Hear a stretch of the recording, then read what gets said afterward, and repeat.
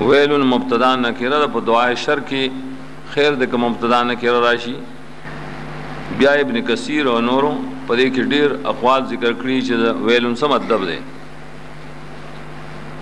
یو قولدار ویل څه دی مشقت د عذاب نو بل هم د آیت نږدې دی شدت د عذاب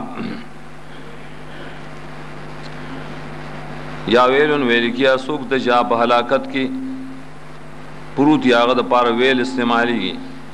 او چې علاقت ته نږدې نه د پاره ویح استعمالیږي په هي سره سیبه دا فرق کړي نورم پرې کې اقوال شته چاویلی چې ویلن یو حدیث کې راځي امام ترمذی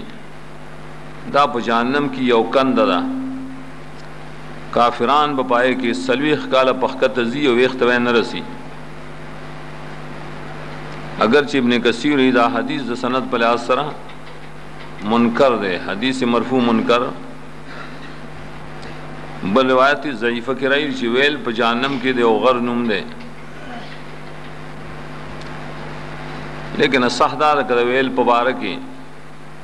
حدیث ثابت نه موږ آیت رجوع کوار کله چې نه ثابت دا د الفاظ او د عربونه دی او د تباهۍ او د هلاکت لپاره استعمالېږي.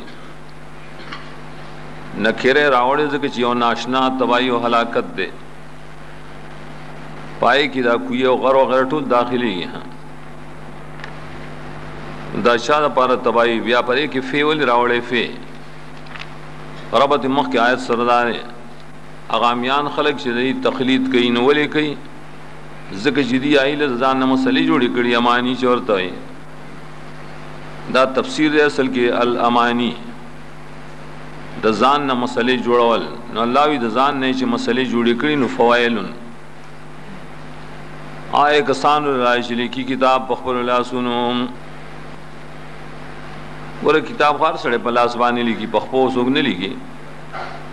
دا قید احترازي نه خو مقصد د دې سي معنی من عند انفسهم په لاسونو لیکل دا معنی چې د ځان نه لیکلي دا مطلب دی ا دې کې مجاز د فقې سو کوئی یكتبونه